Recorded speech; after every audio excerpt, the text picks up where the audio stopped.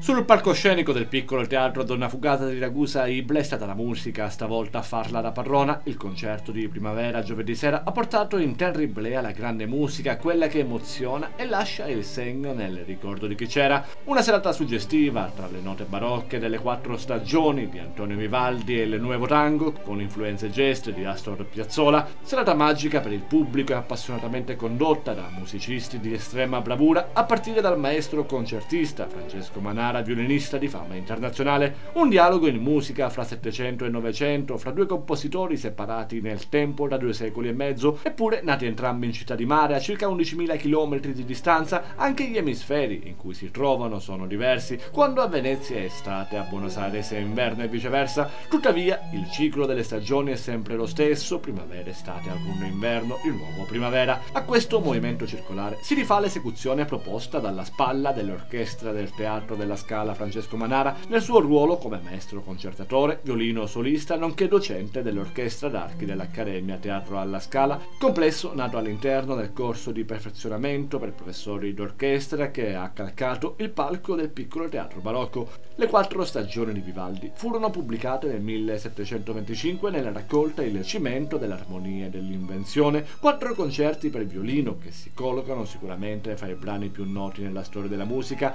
concerti nei quali viene rappresentata la natura sia nella dolcezza della visione arcadica sia negli aspetti più inquietanti ed ostili. La squadra estrazione Pontenas, scritte dal 1964 al 1970, originariamente composte da Piazzolla per il quartetto, rappresentano un omaggio e una rielaborazione dei temi vivaldiani. L'oggetto, Pontenas, si riferisce al porto di Buenos Aires, luogo nel quale ebbe le sue origini il tango, e di tango è impregnata anche la musica di Piazzolla, arricchita da elementi di musica colta europea e da ritmi jazz, un'occasione di grande spettacolo, una proposta culturale colta dal teatro Donna Fugata per dimostrare, se ancora ce ne fosse bisogno, la propria vocazione a punto di riferimento sul territorio per una cultura di respiro internazionale.